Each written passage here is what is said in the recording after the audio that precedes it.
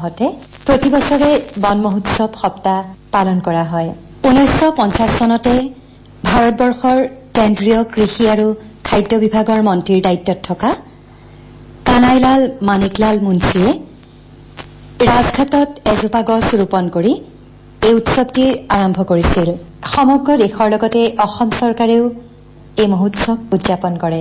এই সপ্তাহজোৰা কাৰ্যসূচীৰে বন মহোৎসৱ উদযাপন কৰা হয়। গছপুলিৰ বন সংৰক্ষণ আদিৰ জৰিয়তে পৰিৱেশ সুৰক্ষিত কৰি আমাৰ জৈৱ বৈচিত্ৰতা আৰু মানৱ সমাজক সুৰক্ষা প্ৰদান কৰাৰ মূল উদ্দেশ্য আগত ৰাখি এই সপ্তাহজোৰা কাৰ্যসূচীৰে বন মহোৎসৱ উদযাপন কৰা হয়। আজি আমি কিছু কথা আলোচনা কৰিবলৈ আগবাঢ়িছো। আমাৰ অনুষ্ঠানত আজি উপস্থিত আছে বিশিষ্ট গৱেষক লেখক প্ৰকৃতি সংৰক্ষণৰ লগত বিশেষভাৱে জড়িত এজন ব্যক্তি ডক্টৰ নৱকুমাৰ চমুৱা। নৱকুমাৰ চমুৱাদেৱ আজিৰ বিশেষ অনুষ্ঠানটিলৈ আপোনাক স্বাগতম জনাইছো। মই সকলোকে শুভেচ্ছা জনাইছো ধন্যবাদ জনাইছো। আপোনাকে প্ৰমুখ কৰি আকাশবাণী যোৰহাট কেন্দ্ৰৰ সমূহ কৰ্মকৰ্তা আৰু সকলো শ্ৰোতালৈকে মই আন্তৰিক অভিনন্দন আৰু সেউজ সম্ভাষণ জনাইছো। বন মহোৎসৱ যিহেতু আজিৰ পৰা জুলাই মাহৰ সাত তাৰিখলৈকে পালন কৰা হয় এই বিশেষ সপ্তাহজোৰা কাৰ্যসূচীৰ বিষয়ে কিছু কথা জানিব বিচাৰিম। সমগ্ৰ পৃথিৱীৰ লগতে সমগ্ৰ আমাৰ ভাৰতবৰ্ষৰ অৰণ্য সংৰক্ষণৰ বাবে এটা সপ্তাহ।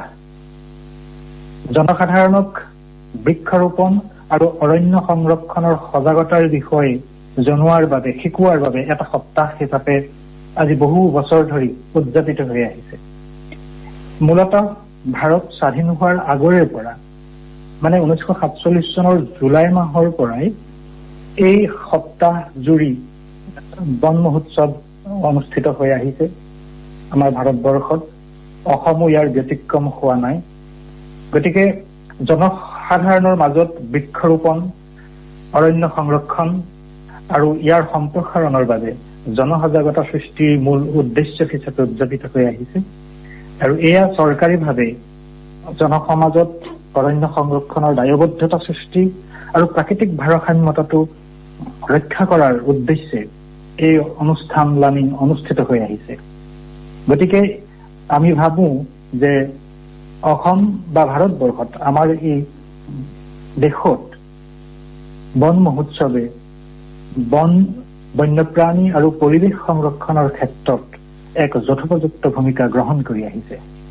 হয় যিহেতু বৰ্তমান সময়ত আমি গছপুলি ৰোপণৰ কথা কৈ থাকো আনফালে কিন্তু আমাৰ বনাঞ্চলসমূহ ধ্বংস হৈ আহিছে। গতিকে এই বৰ্ষত কিবা নতুন বিশেষত্ব আছে নেকি এই বন মহোৎসৱৰ?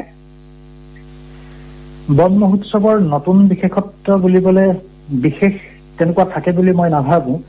মূল কথাটো হৈছে যে আমি বৃক্ষ ৰোপণ কৰিব লাগে। আৰু সেই বৃক্ষ ৰোপণেৰে অৰণ্য সংৰক্ষণেৰে আমাৰ পৰিৱেশৰ ভাৰসাম্যতাটো ৰক্ষা কৰাটো হৈছে মূল উদ্দেশ্য।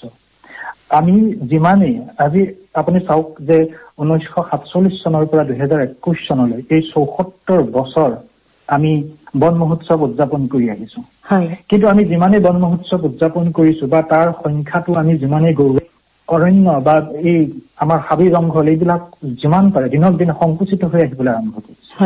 গতিকে এফালে আমি অৰণ্য সংৰক্ষণৰ নামত বৃক্ষৰোপণৰ নামত ঢাক ঢোল বজাই আছো নেকি? সেই কথাটো কিন্তু আমাক কেতিয়াবা ভাবিবলৈ বাধ্য কৰে। আমি যদি চাওঁ যে অসমৰ মই বেলেগৰ কথা নকওঁ অসমৰ কথাই যদি চাওঁ অসমৰ গোটেই প্ৰাকৃতিক পৰিৱেশটো দিনক দিনে এটা বৰ পুতৌজনক অৱস্থালৈ আহি আছে। অসমক প্ৰকৃতিৰ নুমলী যি বুলি কোৱা হৈছে কিন্তু এই নুমলী জীৰ নাঙঠ ৰূপটো চাবৰ কাৰণে কিন্তু আমাৰ প্ৰজন্ম সাজু থকাটো উচিত।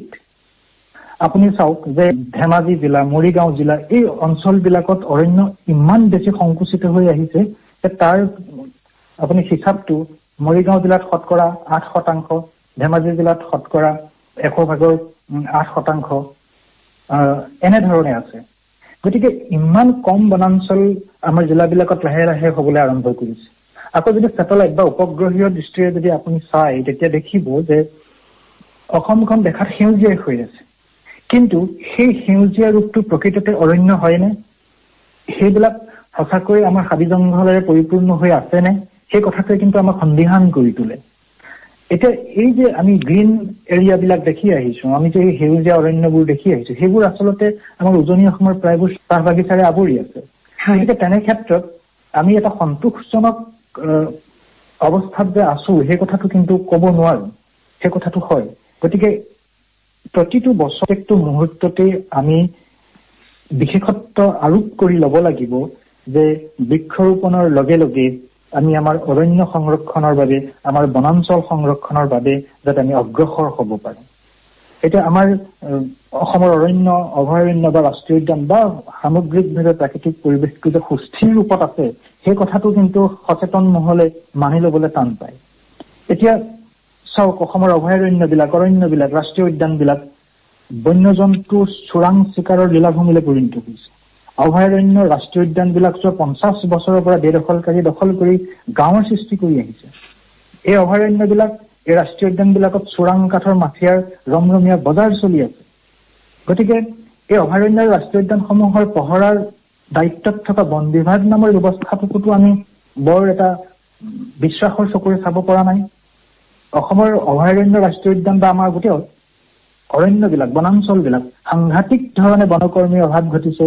ইয়াৰ আন্তঃগাঁথনিৰ ব্যৱস্থাপনা এইবিলাকৰ অভাৱ ঘটিছে। বন্যজন্তু মানুহৰ সংঘাত তুংগত উঠিছে। আৰু আটাইতকৈ ডাঙৰ কথা উদ্যোগপতি বা পুঁজিপতি বহুজাতিক কোম্পানীসমূহৰ আগ্ৰাসন ঘটিছে। গতিকে আজিৰ তাৰিখত বন মহোৎসৱ বুলি বিশ্ব পৰিৱেশ দিৱস বুলি আমি প্ৰতিটো সেই বুলিয়ে নহয় আচলতে আমি প্ৰতিটো মুহূৰ্ততে সজাগ আৰু সচেতন থকাটো অতি দৰকাৰী হৈ উঠিছে। সেইফালৰ পৰা প্ৰতিটো দিনেই আমাৰ অসমবাসীৰ বাবে বিশেষত্বপূৰ্ণ তাৎপৰ্যপূৰ্ণ। হয়। হয়। আচলতে এই কথা আমি সকলোৱে অনুধাৱনো কৰিব লাগিব। হয়। আপুনি সুন্দৰকৈ কথাখিনি ব্যক্ত কৰিলে। যিহেতু আপুনি বহু বছৰ ধৰি প্ৰকৃতি সংৰক্ষণৰ লগত কাম কৰি আছে আপোনাৰ সেই কৰ্ম অভিজ্ঞতাৰ বিষয়ে কিছু কথা জানিব বিচাৰিম। মই বৰ্ষাৰণ্য সংৰক্ষণৰ বা অৰণ্য সংৰক্ষণ বা পৰিৱেশ সংৰক্ষণৰ ক্ষেত্ৰখনত সাংগঠনিকভাৱে দুহেজাৰ সাত চনৰ পৰা মই আছো আছো। বিশেষকৈ তেতিয়া মই স্নাতকোত্তৰ পৰ্যায়ত ডিব্ৰুগড় বিশ্ববিদ্যালয়ত মই নামভৰ্তি কৰি ক্লাছৰুমলৈ যোৱাৰ বিপৰীতে মই অৰণ্য প্ৰশিক্ষণ লবলৈ অৰণ্য সংৰক্ষণৰ প্ৰশিক্ষণ লবলৈ মই পশ্চিমবংগৰ বক্সা টাইগাৰ ৰিজাৰ্ভলৈ গুচি গৈছিলো। গতিকে তেতিয়াৰ পৰা আচলতে সাংগঠনিকভাৱে অৰণ্য সংৰক্ষণ পৰিৱেশ সংৰক্ষণ বৰ্ষাৰণ্য সংৰক্ষণৰ ক্ষেত্ৰখনত মই জড়িত হৈ পৰিছো। বিশেষকৈ মই মোৰ জন্ম জিলা মোৰ গৃহ জিলা ধেমাজি জিলাৰ যিমান কেইখন সংৰক্ষিত বনাঞ্চল আছে সেই গোটেই বনাঞ্চলবিলাক এফালৰ পৰা চোৱাৰ পাছত মোৰ মনত ইমান এটা সংশয় সৃষ্টি হৈছিল যে এনেকৈ আমি গোটেই জিলাখনৰ নখনকৈ বনাঞ্চল শেষ কৰি পেলালো। আৰু সেই প্ৰত্যেকখন বনাঞ্চলৰ অস্তিত্ব বিচাৰি গৈ গৈ যেতিয়া জোনাই মহকুমাত থকা পবা সংৰক্ষিত বনাঞ্চলখন পালোগৈ তেতিয়া মোৰ চকুত আমাৰ চকুত আচলতে এক বিস্ময় এক এক ধৰণৰ কৌতূহল যেন আমাৰ কাৰণে ৰৈ আছিল এক বিস্ময় যেন আমাৰ সন্মুখত আছিল। আৰু তেতিয়া দেখিছো যে সেই নখনকৈ বনাঞ্চল ধেমাজি জিলাত জোনাই মহকুমাত এখন অপূৰ্ব সুন্দৰ অৰণ্য এতিয়াও জীয়াই আছে। অনেক বেদখল হৈছে অনেক ধৰ অনেক চোৰাং চিকাৰ হৈছে বিভিন্ন সমস্যা আছে। তাৰ মাজতো কিন্তু এখন অপূৰ্ব সুন্দৰ অৰণ্য যেন আমালৈ বাট চাই আছিল। আমি বিভিন্ন ধৰণৰ গৱেষণা বিভিন্ন ধৰণৰ অধ্যয়ন এইবিলাক কৰাৰ পাছত সিদ্ধান্ত লৈ আহিলো যে পবা আচলতে এখন বৰ্ষাৰণ্য। সেই মুহূৰ্তৰ পৰাই আমি সেই বৰ্ষাৰণ্যখন সংৰক্ষণৰ বাবে অভয়াৰণ্য স্বীকৃতিৰ বাবে বিভাগীয় কৰ্তৃপক্ষক আমি দাবী জনাই আহিছো। আৰু ইতিমধ্যে নেচাৰ্ছ বেকনে উত্তৰ পূব ভাৰতৰ পৰিৱেশ সংৰক্ষণকাৰী গোষ্ঠী নেচাৰ্ছ বেকনে দিহিং পাটকাই অভয়াৰণ্য যিখন জয়পুৰ বৰ্ষাৰণ্য সেইখন সংৰক্ষণৰ বাবেও আজি বহু বছৰ জুৰি প্ৰায় পঁচিছ বছৰ জুৰি সংগ্ৰাম অব্যাহত ৰাখিছে। আৰু অতি সুখৰ কথা যে সেইখন সেই বৰ্ষাৰণ্যখন ব্ৰহ্মপুত্ৰ উপত্যকাৰ প্ৰথম আৱিষ্কৃত সেই বৰ্ষাৰণ্যখন আজি ৰাষ্ট্ৰীয় উদ্যান হিচাপে স্বীকৃত হোৱাটো অতি গৌৰৱৰ কথা হৈছে। গতিকে এনেধৰণে প্ৰবাহ সংৰক্ষণৰ লগত তাৰ থলুৱা যিখিনি মানুহ জনসাধাৰণ সেইসকলক সজাগ কৰাৰ উদ্দেশ্যে বিভিন্ন ধৰণৰ লেখা মেলাৰ যোগেদি অসমৰ বিভিন্ন প্ৰান্তৰ লোকক বৰ্ষাৰণ্যৰ বিষয়ে জনোৱাটো প্ৰবাৰ অস্তিত্বৰ বিষয়ে ব্ৰহ্মপুত্ৰৰ উপত্যকাত আন এখন আন এখন বৰ্ষাৰণ্যৰ সন্ধান দিব পৰাটো আমাৰ দৰে কৰ্মীৰ বাবে অত্যন্ত গৌৰৱৰ কথা বুলি ভাবো। এইখিনিতে সুধিব বিচাৰিছো ৰায়মনা বনাঞ্চলৰ বিষয়ে যি নতুনকৈ এতিয়া ৰাষ্ট্ৰীয় উদ্যান ৰূপে স্বীকৃতি পাইছে সেই বিষয়ে কি ক'ব বিচাৰিব? লগতে দিহিং পাটকাইৰ ওপৰতো কি ক'ব বিচাৰিব? সম্প্ৰতি ৰায়মনা আৰু দিহিং পাটকাই এই দুখন উদ্যান হিচাপে চৰকাৰীভাৱে স্বীকৃত হৈছে। ৰায়মনা সংৰক্ষিত বনাঞ্চল আছে। সেইখনক সম্প্ৰতি অসমৰ বন বিভাগে ৰাষ্ট্ৰীয় উদ্যানলৈ ৰূপান্তৰিত কৰিছে। ৰায়মনা মূলতঃ ভূটানৰ লগত সংলগ্ন থকা এক অবিচ্ছিন্ন বনাঞ্চল। বিশেষকৈ হিমালয়ৰ দক্ষিণ ৰেঞ্জৰ এই যি বনাঞ্চল আছে আনকি উত্তৰ প্ৰদেশৰ পৰা আৰম্ভ কৰি আমাৰ নামেৰীলৈকে ওৰাঙৰলৈকে এই গোটেই অঞ্চলটো জৈৱ বৈচিত্ৰ্যৰ ক্ষেত্ৰত অত্যন্ত সমৃদ্ধ। আৰু আটাইতকৈ ডাঙৰ কথা যে সাগৰিকতা পহুৰ দৰে আপুৰুগীয়া বন্যপ্ৰাণীবোৰ বা নলগাহৰিৰ দৰে বিপন্ন প্ৰায় বন্যপ্ৰাণীবোৰ এই ওৰাং এই নামেৰি সোণাই ৰূপাই সেই ৰেঞ্জটোত সেই ৰেঞ্জটোত আচলতে পোৱা গৈছে। গতিকে ৰায়মনা সেই একেটা লাইনতে থকা এখন অৰণ্য। সেই অৰণ্যখনক ৰাষ্ট্ৰীয় উদ্যান হিচাপে স্বীকৃতি দিয়াটো অসমৰ জৈৱ বৈচিত্ৰ্য সংৰক্ষণৰ কাৰণে এটা অতি তাৎপৰ্যপূৰ্ণ কথা বুলি আমি ক'ব পাৰো। আনহাতে যদি আমি দিহিং পাটকাই প্ৰসংগটো উত্থাপন কৰো তেতিয়াহ'লে আমি দেখিবলৈ পাওঁ যে দিহিং পাটকাই এখন মূলতঃ বৰ্ষাৰণ্য ই এখন পৃথিৱীৰ ভিতৰতে সমৃদ্ধিশালী অৰণ্য। এখন সাধাৰণ অৰণ্যতকৈ চাৰি গুণে অধিক ইয়াৰ জৈৱ বৈচিত্ৰ্য সমৃদ্ধ হৈ থাকে। গতিকে বিভিন্ন দিশৰ পৰা দিহিং পাটকাই অভয়াৰণ্যক ৰাষ্ট্ৰীয় উদ্যানলৈ উন্নীত কৰাটো অতি জৰুৰী হৈ আছে। বা অসমৰ পৰ্যটনৰ দিশৰ পৰাও এই দুয়োখনক ৰাষ্ট্ৰীয় উদ্যান হিচাপে স্বীকৃতি দিয়াটো শুভ লক্ষণ বুলি আমি ক'ব পাৰো। গতিকে এই দুয়োখনক ৰাষ্ট্ৰীয় উদ্যান হিচাপে ঘোষণা কৰাটোৱে অসমৰ প্ৰতিজন লোকক পৰিৱেশ সচেতন প্ৰতিজন লোকক আচলতে এটা নতুন আশাৰ খবৰ দিছে বুলি আমি ক'ব পাৰো। হয় পৰিৱেশ সংৰক্ষণৰ ক্ষেত্ৰত আমাৰ সাধাৰণ মানুহৰ কৰণীয় কি হোৱা উচিত? পৰিৱেশ সংৰক্ষণৰ বিষয়টো আজি আচলতে এটা বিশেষ বিষয় হিচাপে উত্থাপিত হৈছে। আমি সদায় আজি আমি আমাৰ প্ৰজন্মই প্ৰতি মুহূৰ্ততে ৰাজনীতি ধৰ্ম নীতি সমাজ নীতি এইবিলাকক অধিক গুৰুত্ব দিবলৈ আৰম্ভ কৰিছো। আজিৰ তাৰিখত আমি যিটো বিষয়ত অধিক গুৰুত্ব দিব লাগে আমাৰ পৰিৱেশ সংৰক্ষণটোক আমি আমাৰ প্ৰাকৃতিক পৰিৱেশটোক যদি সুৰক্ষিত নকৰো তেতিয়াহ'লে এই ৰাজনীতি এই ধৰ্ম নীতি এই সমাজ নীতিৰ কোনো মূল্য নাথাকিব। আমাৰ অসমৰ দৰে ৰাজ্যবোৰত ভাৰতবৰ্ষৰ দৰে উন্নয়নশীল দেশবোৰত পৰিৱেশ সংৰক্ষণটো আজিৰ তাৰিখত আটাইতকৈ বেছি গুৰুত্ব পাবলগীয়া বিষয় হৈ উঠিছে।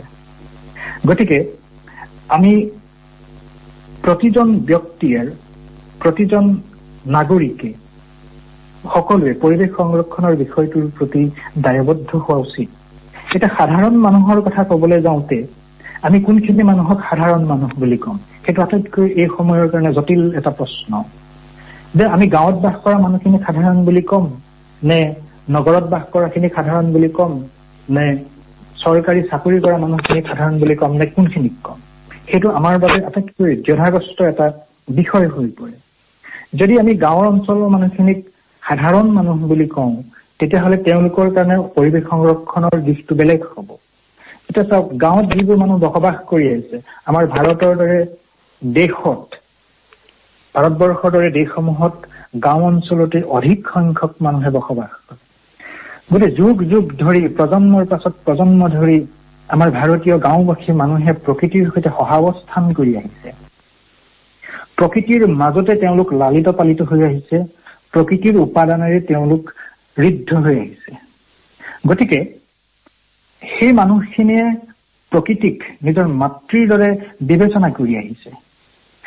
প্ৰকৃতি এক প্ৰকাৰে তেওঁলোকৰ মাতৃ তেওঁলোকৰ দেৱতা। গতিকে সেই মানুহখিনিয়ে প্ৰকৃতিক যি ধৰণে ভাবে সেই ভাৱনাৰে তেওঁলোকে প্ৰকৃতিক ৰক্ষণাবেক্ষণো দিয়ে। আমাৰ জনগোষ্ঠীয় জীৱন প্ৰবাহত আমি দেখিবলৈ পাওঁ আমাৰ সেই গ্ৰাম্য জীৱন ৰীতিত আমি দেখিবলৈ পাওঁ যে তেওঁলোকে এক প্ৰকাৰে প্ৰকৃতিৰ ওপৰত নিৰ্ভৰ কৰে যদিও সেই মানুহখিনিয়ে এক প্ৰকাৰে প্ৰকৃতিক সংৰক্ষণ কৰিও আহিছে। গতিকে সেই গাঁওবাসীয়ে চাবলৈ গ'লে গাঁওবাসীৰ দৃষ্টিত পৰিৱেশ সংৰক্ষণৰ ধাৰণাটো এটা জাপি দিব পৰা ধাৰণা নহয়। আপুনি লক্ষ্য কৰিব যে অৰণ্যৰ দাঁতিকাষত বাস কৰা এখন গাঁৱৰ মানুহে এখন অৰণ্য শেষ কৰি পেলাব নোৱাৰে ধ্বংস কৰিব নোৱাৰে যদি তাত ব্যৱসায়িক স্বাৰ্থ কিছুমান জড়িত নহয়। এতিয়া আমাৰ পৰিৱেশ সংৰক্ষণ বা বনাঞ্চল সংৰক্ষণৰ ক্ষেত্ৰত আটাইতকৈ ডাঙৰ কথাটো হৈছে ডাঙৰ চেলেঞ্জটো হৈছে প্ৰতিবন্ধকতাটো হৈছে যে অৰণ্যক আমি প্ৰকৃতিক আমি সম্পদৰ দৃষ্টিৰে চাবলৈ লোৱাটোত সেইটো আমাক নতুন পুঁজিবাদী ব্যৱস্থাই চাবলৈ শিকাইছে তেনেধৰণে চাবলৈ শিকাইছে।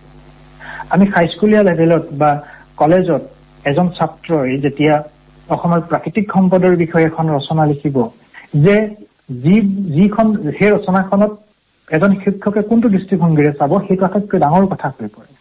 ছাত্ৰজনে বা আজি পৰ্যন্ত অসমৰ প্ৰাকৃতিক সম্পদৰ বিষয়ে লিখা ৰচনা এখনৰ বিষয় হৈ উঠে এনেবোৰ বিষয় যিবোৰ বিষয় অৰ্থনৈতিকভাৱে বাণিজ্যিকভাৱে সম্পদশালী বা ধন ধন দিব পাৰে।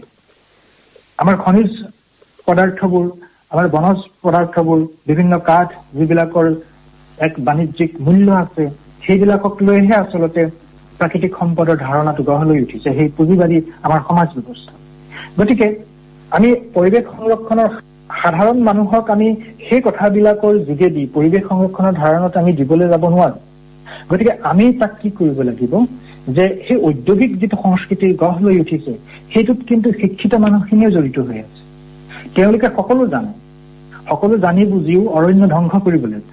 সেইমতে দিহিং পাটকেইটা আপুনি চাওক দিহিং পাটকেৰ অভয়াৰণ্যত আপুনি দেখিব যে তাত কয়লা খননৰ অনুমতি দিয়া হৈছে তেল খননৰ অনুমতি দিয়া হৈছে। ডিব্ৰু চৈখোৱা ৰাষ্ট্ৰীয় উদ্যানৰ দাঁতি কাষতে তাৰ তেলৰ খাট বহুওৱা হৈছে। এইবোৰতো সাধাৰণ মানুহৰ কথা নহয়।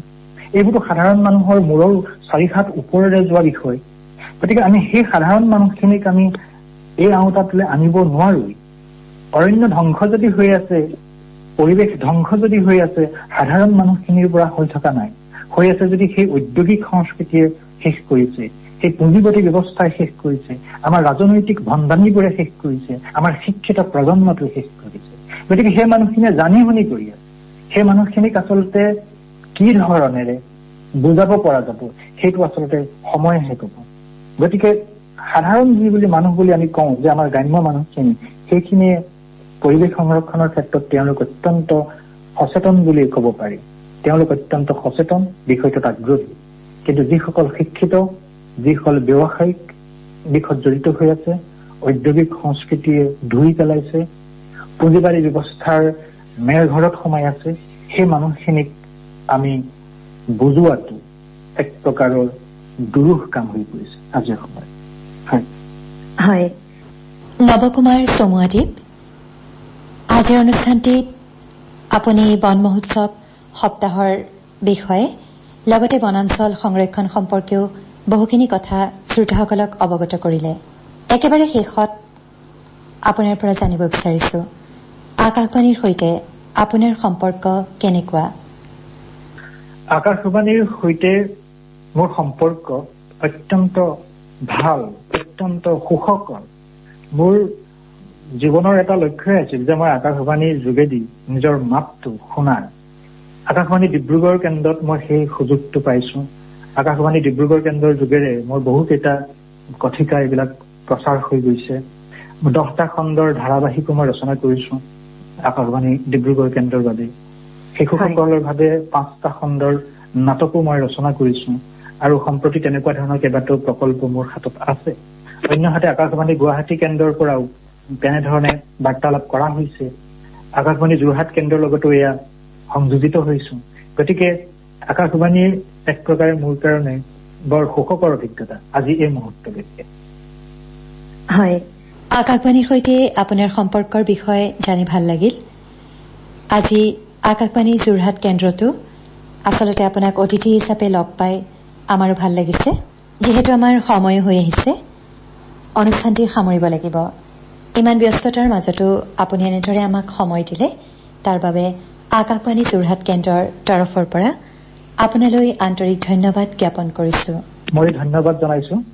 আপোনাকো ধন্যবাদ জনাইছো আৰু আকাশবাণী যোৰহাট কেন্দ্ৰৰ সকলো কৰ্মকৰ্তা আৰু শ্ৰোতাসকলক সকলোকে মই ধন্যবাদ জনাইছো শুভেচ্ছা জনাইছো। ধন্যবাদ। আকৌ কেতিয়াবা। এনেদৰেই আমাৰ অনুষ্ঠানত লগ পোৱাৰ আশাৰে আজিৰ এই বিশেষ অনুষ্ঠানৰ পৰা আপোনাক এতিয়া বিদায় জনাইছো। ধন্যবাদ। হয় ধন্যবাদ।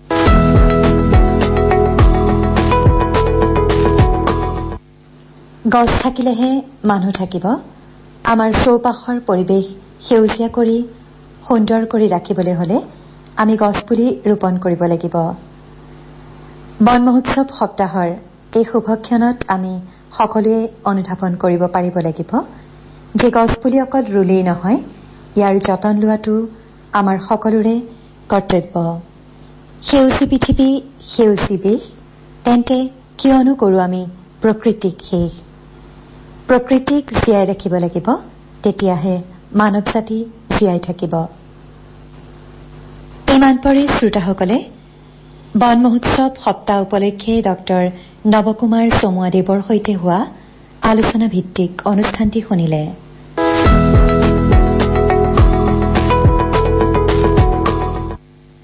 শ্ৰোতাবৃন্দ এক জুলাই এই দিনটোক ৰাষ্ট্ৰীয় চিকিৎসক দিৱস হিচাপেও পালন কৰা হয়। লগতে এক জুলাইৰ পৰা আৰম্ভ হয় বন মহোৎসৱ সপ্তাহ। পুনৰবাৰ আজি এক জুলাই দুহেজাৰ একৈশ তাৰিখৰ চিকিৎসক দিৱসৰ এই শুভক্ষণত সকলো চিকিৎসকলৈ ৰাষ্ট্ৰীয় চিকিৎসক দিৱসৰ আন্তৰিক শুভেচ্ছা জ্ঞাপন কৰিছো।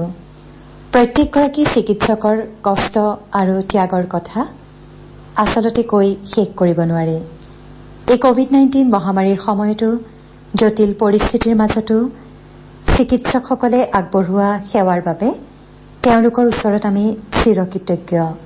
প্ৰতিজন চিকিৎসক স্বাস্থ্য বিভাগৰ লগত জড়িত প্ৰত্যেকগৰাকী ব্যক্তিকে আকাশবাণী যোৰহাট কেন্দ্ৰৰ তৰফৰ পৰা আন্তৰিক ধন্যবাদ জ্ঞাপন কৰিছো। আপোনালোক ভালে থাকক। সদায় সুস্থ থাকক।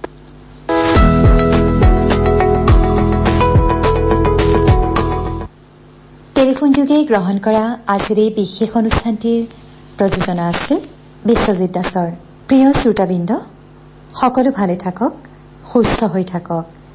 ধনাত্মক চিন্তাৰে সেউজীয়া মনৰ অধিকাৰী হওক। শ্ৰোতাবৃন্দ আজিৰ এই বিশেষ অনুষ্ঠানটিৰ প্ৰযোজনা আছিল বিশ্বজিৎ দাসৰ। এই বিশেষ অনুষ্ঠানটিৰ পৰা মই দৰ্শনাই এতিয়া বিদায় লৈছো। নমস্কাৰ।